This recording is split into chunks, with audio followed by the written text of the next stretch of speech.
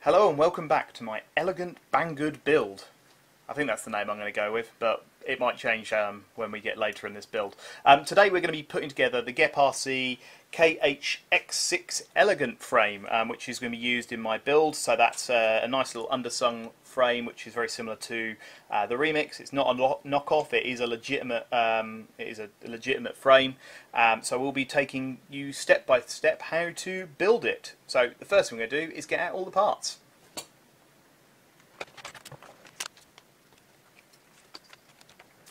So here is everything that comes in the box. So you have your instructions, you have the uh, LED light, which is a nice little connection and a buzzer on the back. You have various pieces of foam that I'm not 100% sure what all they're, they're all for, but I'm sure I'll find a use for all the bits of foam. You get a nice little XT60 pre-solders, so you don't have to do all the soldering in, in this bit here, so that is really, really useful. You get a nice little TPU antenna mount, which will be useful for connecting your video transmitter and aerials to you get a nice little sticky top plate which um, I might use something slightly different for but we'll look at that later in the series. Um, you get aluminium front end and rear standoffs and you get all the carbon that goes with it and all the screw screws. One of the things that's quite nice is you get these little, um, the, you get the Allen keys that are designed to go with to support building this. I probably won't use these, I'll probably use my own um, tools, but they are in there if you're interested. Right, so um, let's get the screws out of here and we'll put them into a little pot. Uh, every time I do a build I always end up with, um, so I have a load of little, there we go, we have a load of these little pots that I use, so when I then unscrew, undo these, let me get a knife, I don't lose anything. Um, these come with motors. I think every motor I have has some kind of like plasticky container and I just find those incredibly useful for storing things in. Apologies, it's um, raining in the UK for the first time in about nine weeks, so it's pretty noisy in, uh, in my garage where I do all my filming, so apologies for the background noise. Right, so that's all your screws, etc. So let's um, get out all the, the carbon fibre parts and we'll just check the edges on all of those.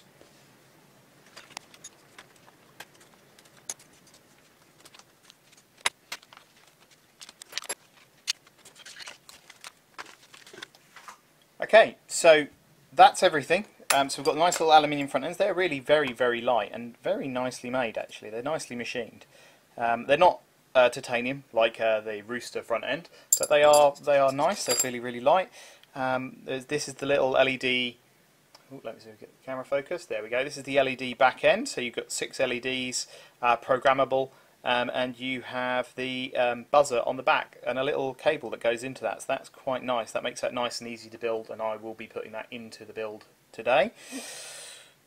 Um, and we've got the carbon fibre, so let's have a little feel of the carbon fibre arms. Yeah, that's really nice. They've actually um, beveled the arms, so they are nowhere near as sharp as um, some of the arms I've had in, in history. I mean, you used to have to go and sand the arms down, but um, in this case, I don't think I need to. Uh, it's a little bit sharp, but, but not too bad. So um, what we now need to do is decide where we're going to start. The top plate. So this is the top plate, and this is the little plate that goes underneath it. This way is facing forward, so the metal pieces will be around about here. But what we need to do is fit the sunk nuts into this piece. Now, I know that my board wants the the power cable, the XT60, to come out on this side. So therefore I want to make sure that this is on, this piece here is on that side. I'm not going to do left to right because I have to flip my camera recording round and that will uh, really confuse the hell out of everyone. So what I need to do is fit my sunk nuts into this piece. Now how I do that, um, if you watched my rooster build I did it with a hammer, don't do it that way. Um, what I found the easiest way of doing it is that you get the sunk nuts in and then you use a large headed nut and if you've got a washer you can use a washer but I don't have one to hand. Uh, and then you then use that to then draw the sunk nuts into the into the build. So I'm just going to make sure I get this the right way round. So these go into the bottom. So I'm just going to turn it over place the sunk nut into the hole. Go. Get the screw and just tighten that up ever so slightly so that comes through. There we go. So now what I can do is I can now get my oh this looks like a no it's not it's a 2.5 isn't it there we go 2.5 mil uh, crosshead and I can then just tighten this up ever so slowly and as it just pulls it in it tightens up I can then let it go and that is then in the build. So therefore that's gone in nicely and it's nice and secure and I can now do the same for each other part. To know when doing this is that you don't want to over tighten this. So you want to pull it in just enough so that it draws itself down. And then once you feel resistance that it's not going to turn anymore then you stop. I had a problem with one of these where I overdid it and it then started to spin in the um, in the hole so you don't really want that and I had to then back it out with a pair of um, pliers so just nicely gently draw it in and then when you feel that the tension is it's just seated nicely and it stops rotating, that's where you stop. Put all your sunk nuts in. Focus, focus, focus. There we go. Um, you then need to then fit the top plate and sandwich the arms. So what you're going to need to do this is you will need some of your M3 16mm flathead bolts. So they will look like this. And you will need some M3 10mm round head bolts that look like this. So these will go into the countersunk holes and these ones will go in the outer holes. So let's fit an arm. So the little hole that goes to the ESC wires should be on the inside. So I'm just going to get this in place, put that through, and then I'm going to screw that into that. Oh, it's not that screwdriver. Uh, so it is a, not that one. So you will need to use a 2mm screwdriver. Uh, not screwdriver, hex. Hex driver, that's the one we're looking for. So that should screw through. So that goes into there, and then we should then be able to put a little smaller one into here, like that and we should screw that through into there. Now I haven't screwed this one all the way through because I didn't want to because um, it probably needs to go into something else so I'm just going to leave it there for the time being um, but I am now going to now do all the other arms. So all I'm going to do is slide it in put the main bolt in the middle screw it down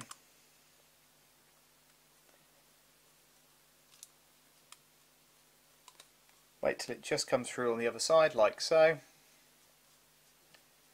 Then I can put the outside bolt in.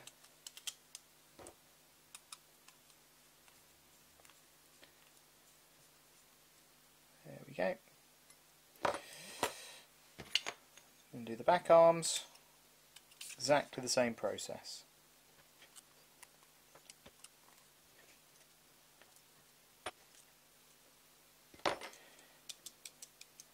Right, so there we go.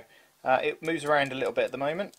I think that's because I haven't tightened everything down as much as I as I need to, but I'm sure once I've tightened this all up, it will stop moving about.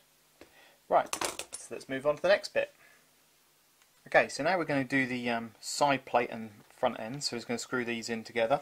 So these are nice and straightforward. You will get in here some little 2M 6mm screws. So you'll need to have a, a 1.5 millimeter, 1.5 millimeter screwdriver for these. So all you're going to simply do, pop that on the end there, find the corresponding hole, screw that in. Go, and then we then do the same on the back. Like so.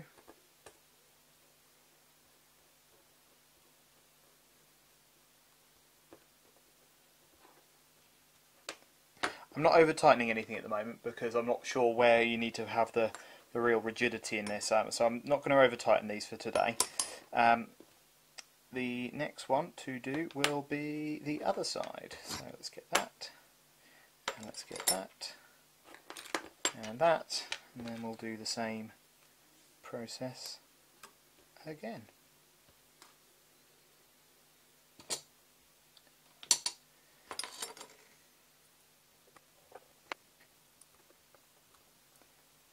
There we go, that's now tightened up.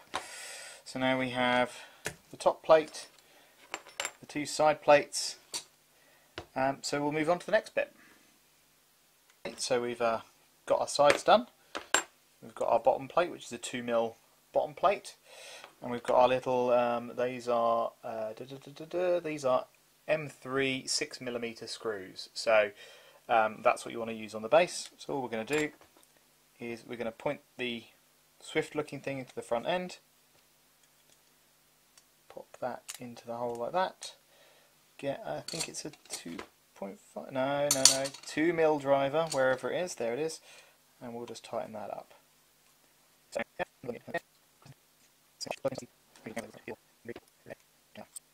Oh no we don't. Stupid boy. We need to put this in. So all we're going to do is we find the little gaps. Make sure this is the right way up. Slide that into there. Then we screw the back in.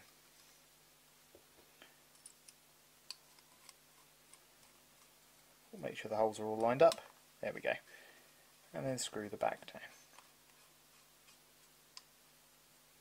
There we go. And tighten that up. And make sure those bolts are all tightened. Right, Finally, now we need to just join the top part to the bottom part and then put the front standoffs in. So to join the top part to the bottom part, we simply need to take these little uh, M3 flathead, uh, I think they're 8mm uh, bolts, slide the top on, get those in, screw that down,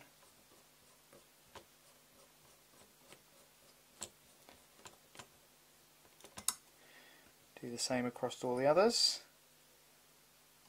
I don't think these are, these are titanium bolts, so don't over tighten them. You will probably strip them. I want to do them up tight enough.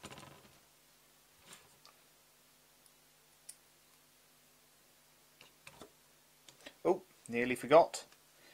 We want to put this here at the back. So we're going to put it so it's the so the big holes are on the bottom and we're just going to screw that down like so.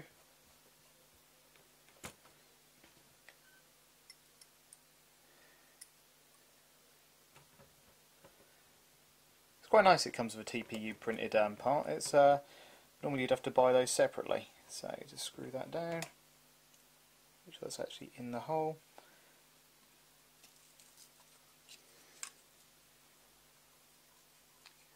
There we go.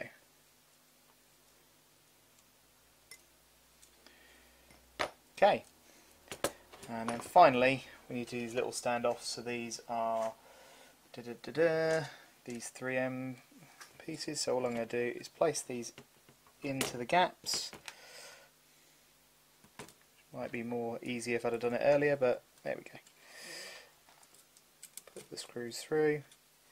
Gonna finger tighten that in. Get another M3 10mm, screw that in, tighten that up.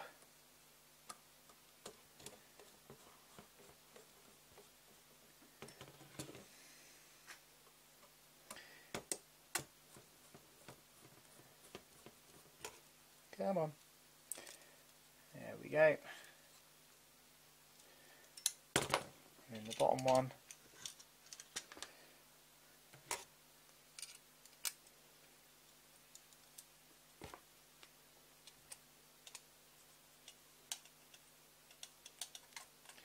So I'm just going to screw that to the point where it's nearly there. Push this into the gap like so, and then just Tighten this one up. Hold this if it stops rotating.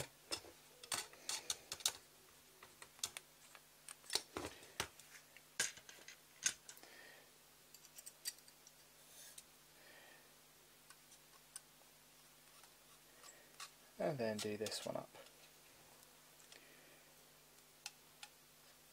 There we go.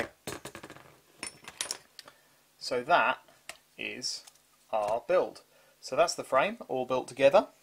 Um, as you can see there's some nice little touches in there. You've got a good bit of space underneath to, to hang your items.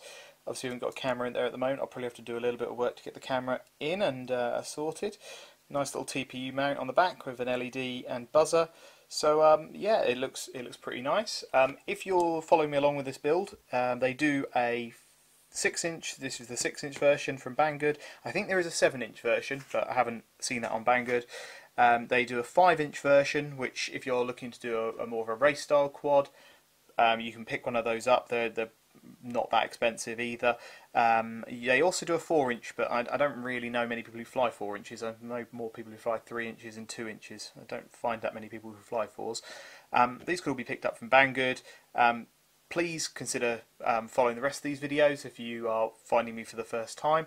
Um, and I hope you enjoy it, and I'll see you all next time.